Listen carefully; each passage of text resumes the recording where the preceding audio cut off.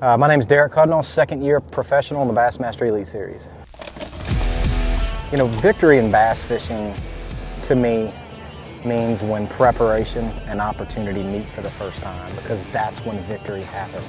And when those two meet and can, it comes together, victory can happen in, in any singular moment or a journey.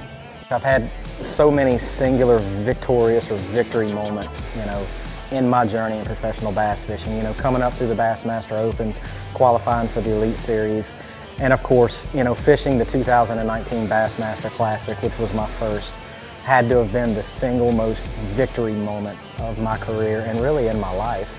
Um, and even going back to, you know, qualifying for the Classic and the Elite Series the year before when I qualified, um, we, we were fishing the Bassmaster Opens Championship on Table Rock and I went into the final day being tied for third place. And the top three not only got not only qualified themselves for the Bassmaster Elite Series, we also got an invitation to fish that, that following year's Bassmaster Classic. And on that final day, I actually caught my fifth keeper on literally my last cast of the day. And that singular fish put me finishing third and put me into the Elite Series and fishing the Bassmaster Classic. That was absolutely a moment of victory. You know, preparing for victory, you know, the, the, the key word to that is prep. Is, is the preparation. What I mean by preparation is, you know, us as bass anglers, you know, a rod is an extension of ourselves.